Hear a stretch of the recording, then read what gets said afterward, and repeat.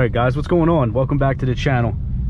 Welcome to this video. Um i figured i'd just show you guys a little bit on uh how this thing drives and uh how this transmission shifts and um how pretty amazing it, this thing actually is. For i mean for what it is it's uh it's a lot of fun and it works really well. But uh i'm gonna let it warm up right now. As you can see on the dash oil's pretty cold. So i'm gonna let it warm up a little bit and I'll try doing some wide open throttle pulls with it. And I'm gonna use the paddles and see if I can get better with that because there's a slight delay when you hit it. I mean it's it's not like a, a DCT whatsoever um, but it's still pretty fun nonetheless using the paddles. And that's how I like doing it but once the car is making more power and all that stuff I'm definitely probably not to use them anymore. I'll just let the car do its thing. Um, but yeah it's hot as hell out here today guys so bear with me i got the ac on right now. The cooled seats i'm chilling. It feels good in here but once i floor it i'll shut everything off. But yeah let this thing warm up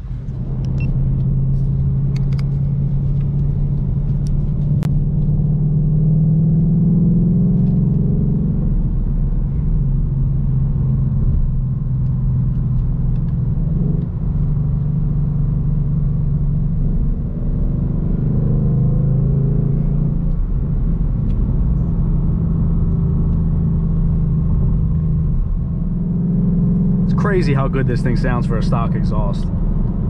Obviously that's in track mode, but this thing still sounds pretty good. Can't wait to get something else on it, like uh, take the cats off, put some headers on here. Um, there's a couple different uh, muffler choices I'm looking at. Someone, some of these cars just sounded crazy, raspy, and just real tin canny sounded, but there's a couple that I've seen that I really like. Nice and deep, nice throaty. Um, I think I'm gonna go with them. But yeah, this thing's gonna sound crazy. Especially with some boost. I can't wait. I cannot wait.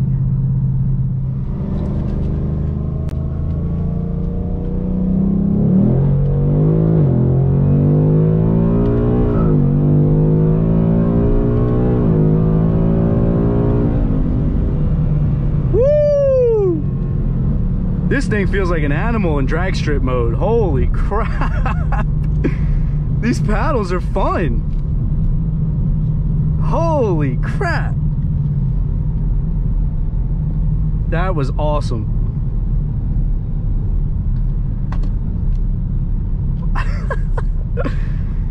for a stock car, this thing's kind of fast. I mean, for what it is.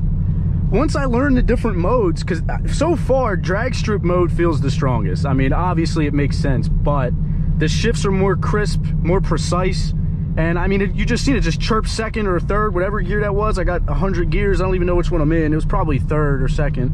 But that was awesome. That was awesome. Oh, shit. And I left the AC on by accident. I think it shuts off after a certain RPM anyway, but damn. That's what I love about this thing. It's fun, it's quick, it's got a lot of potential, and I still got all the creature comforts. I mean, my ass is cold right now. I got I got the air conditioned seats on. It's over 90 degrees outside. This is crazy. I mean, I'm just talk. I've never had anything new like this, so I, that's why it's just a big deal to me. So it's pretty cool to have performance and comfort. Um, I mean, don't get me wrong. Obviously, the Vette was really nice too. I loved my Z06, and uh, I'll never talk crap on those cars. They're awesome. But this is just this is awesome.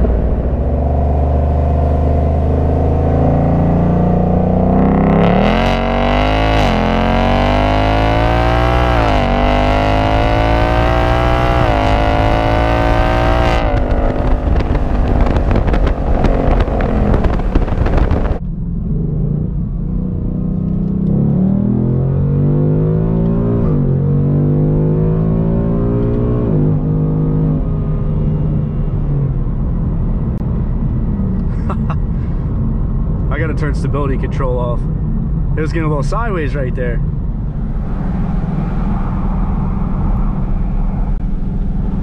Now I'm in seven. Well, that's what I'm saying. Yeah. What it goes for. You ready? I was born ready.